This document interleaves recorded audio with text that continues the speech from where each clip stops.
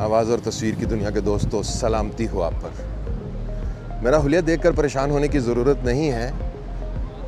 मैं इस वक्त एक ऐसे मुल्क में मौजूद हूँ और एक ऐसी जगह पे हूँ जहाँ पर सर्दी बहुत ज़्यादा पड़ती है और इतनी सर्दी पड़ती है कि पानी जम जाता है।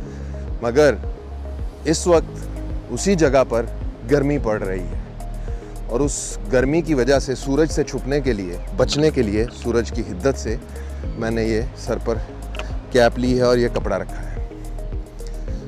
अक्सर लोग हमारे मुल्क में ये सोचते हैं कि ये जो सफ़ेद स्किन वाले लोग होते हैं, ये गर्मियों के मौसम में कपड़ों से बाहर क्यों हो जाते हैं? तो कुछ इसे कहते हैं, ये बेहजाई है, ये फहाशी है। हर एक का अपने अपने मुल्क, अपने कल्चर, अपने मज़हब और अपने ख्यालात के हिसाब से इस बारे में एक मानना है।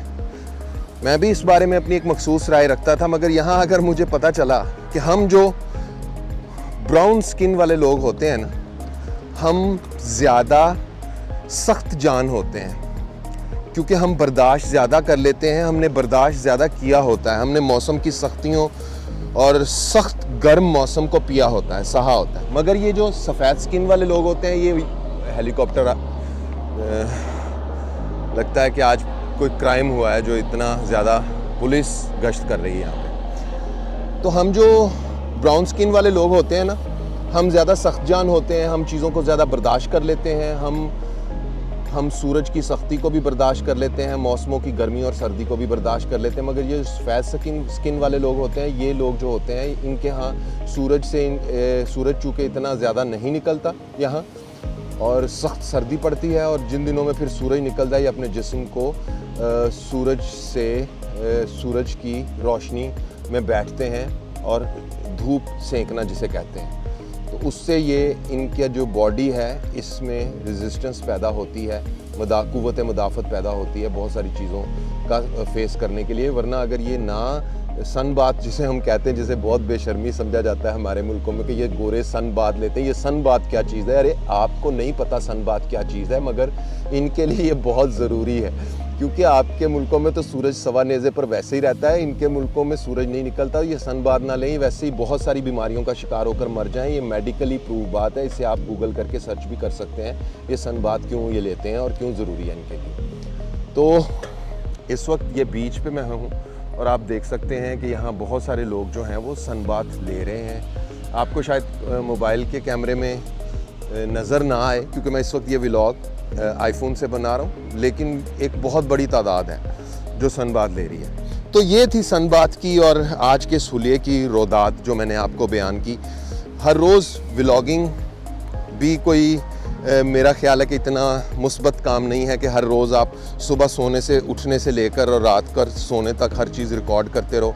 क्योंकि मैंने ऐसे बहुत से व्लॉगर्स देखे हैं जो ऐसा करते हैं। हर रोज़ व्लॉग बनाते हैं और सोने से जैसे वो जागते हैं व्लॉगिंग शुरू कर देते हैं। खाना खाने की, बाथरूम जाने की, नहाने की, फैमिली से मिलने की, हर चीज़ को वो रिकॉर्ड करते हैं और हर चीज़ को वो यूट्यूब पर डालते हैं। बहुत सारे व्यूज़ भी लेते हैं। नो डाउट इसमें कोई शक नहीं। बहुत सारे ऐसे हैं जो बहुत व्यूज़ लेते हैं। मगर, मेरे ख्याल में ये थोड़ा सा अजीब सा नहीं लगता कि इंसान हर वक्त अपनी हर चीज़ को रिकॉर्ड करे। मुझसे तो नहीं हो पाता यार। मैं बहुत सारी जगहों पे जाता हूँ बहुत सारी जगहों पे जा कई जगहों पे जाके मेरा दिल ही नहीं करता। मैं उस जगह की खूबसूरती में या उस माहौल में या उस बात के लम्स में अपनी ए, अपना गुम इतना हो जाता हूँ कि मुझे ये होश नहीं रहती कि मैं इसे रिकॉर्ड करूँ या कंटेंट बनाने की कोशिश करूँ। कंटेंट बनाने की कोशिश मैं कभी नहीं करता। कंटेंट बन जाए तो बन जाए। ज़बरदस्ती कभी कोशिश नहीं की कि कंटेंट बनाया जाए। अच्छा मज़ेदारी की बात यह है कुछ लोग ऐसे हैं जो मेरी यूट्यूब की आईडी पर आते हैं चैनल पर। और वीडियोस के नीचे कुछ अजीब अजीब किस्म की बातें लिख जाते हैं। वो समझते हैं कि शायद ये पढ़ेगा तो इसको पढ़ने के बाद तकलीफ़ होगी, दुख होगा, या ये समझेगा कि ये इस, इसको कोई हम इस तरह से करने से कोई, हम इसे पंच, पिंच कर सकते हैं या कोई, मुझे कुछ फ़र्क नहीं पड़ता यार। लोगों की इस बात से क्या फ़र्क पड़ता है कि मुझे ज़्यादा पब्लिक देख रही है या कम पब्लिक देख रही है? मुझे जो पब्लिक देख रही है, वो वो मुझे जो सब्सक्राइब कर रहा है, वो उसके पीछे उसकी कोई रीजन हैं। कम कर रहा है या ज़्यादा कर रहा है? मुझे जो जो व्यू दे रहा है, उसके पीछे भी उसके पास कोई रीज़न है। कम दे रहा है या ज़्यादा दे रहा है? पहले ज़्यादा आते थे, अब कम आते हैं, अब कम आते हैं, ज़्यादा। पहले ज़्यादा आते थे। एक बात ये, जो ये बंदा हर वक्त लिखता रहता है मेरी आईडी पे, उसे सिर्फ़ इतना कहूँगा, आँखें खोलो, जाकर यूट्यूब पर देखो। मैं वो बंदा हूँ जिसे पाकिस्तान में इस तरह का कॉन्टेंट बनाने पे फेसबुक पेज पर जाकर देख सकते हैं कि मेरे मेरे वीडियोज़ को बहुत व्यूज़ मिलते हैं। लाखों में व्यूज़ मिलते हैं। अगर YouTube पर व्यूज़ नहीं मिलते और YouTube पर मुझे उतनी पजीराई नहीं मिलती तो क्या मैं दिल छोटा कर लूँ? या ये सोचना शुरू कर दूँ कि, मुझे कंटेंट नहीं बनाना चाहिए। ऐसा बिल्कुल भी नहीं है। मैं ऐसा बिल भी, बिल्कुल भी कुछ भी सोचना नहीं चाहता हूँ कि मैं, मुझे व्यूज़ नहीं आ रहे तो उसके यूट्यूब पर तो उसकी रीज़न ये है कि मेरे कंटेंट में कोई बुरी बात है। मैं फैमिली कंटेंट बनाता हूँ, मैं रिश्तों पर बात करता हूँ, मैं दोस्त, दोस्ती की बात करता हूँ, प्यार की बात करता हूँ, मोहब्बत की बात करता हूँ, अमन की बात करता हूँ, काटने, बांटने वाली मैंने कभी बात नहीं की।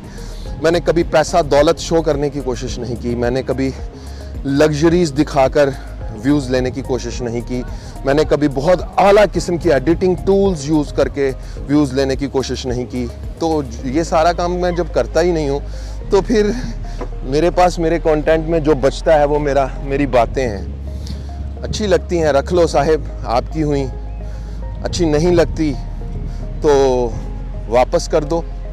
यही चैनल है जहाँ बहुत सारे व्यूज़ थे, यही चैनल है जहाँ व्यूज़ कम हुए हैं, और आज लोग, कुछ लोग बातें करने का उन्हें मौका मिल गया, वो बातें करते हैं। यही चैनल होगा जहाँ पे बहुत सारे व्यूज़ होंगे और बहुत सारे सब्सक्राइबर्स होंगे, मार्क माई वर्ड्स, और फिर वही लोग होंगे।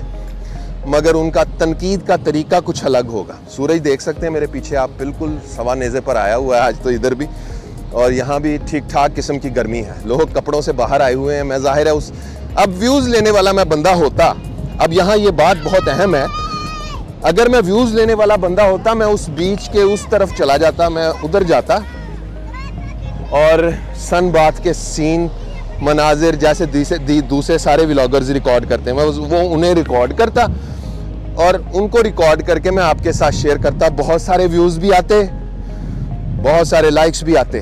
क्योंकि ऐसे वीडियोस और ऐसे कंटेंट को पब्लिक बहुत देखती है। थंबनेल लगाता पुरकशिश सा, जिसमें दो तीन लड़कियाँ बिकनी पहने हुए, लेटी हुई होती, बहुत व्यूज़ आते, बहुत सब्सक्राइबर्स आते।